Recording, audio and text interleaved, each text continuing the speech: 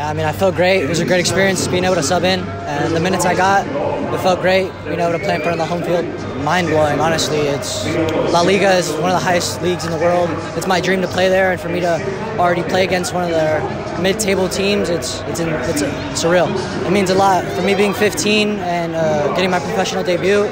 I mean, I'm just looking forward to the next couple years here at the San Jose Earthquakes. Nah, it feels amazing. You know, uh, ever since I signed with this club, this is like a, a, dream, and thankfully it happened today. So I'm very happy. Nah, it means everything. You know, my parents are here, my brother's here, uh, my, a couple of my friends are here too. So I feel amazing right now. I told Wando after after the first 20 minutes, he was like, "You're gonna go in the last 30 minutes." So, so I'm happy. Uh, I was a bit nervous. I don't lie, uh, but you know, I've, I've, done this all my life, and, and uh, I have to take advantage of the opportunity. No, it's a big step. You know, I've been playing my games with the second team to finally get my first team debut. Is is something I'll never forget. It feels great. Uh, yeah, I mean, this is what these games are for. A great opportunity to come out and show myself against a really good opponent.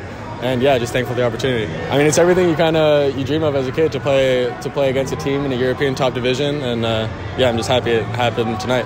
Yeah, just hopefully this will be the first step of many, and now I can just take the next step and, and keep working.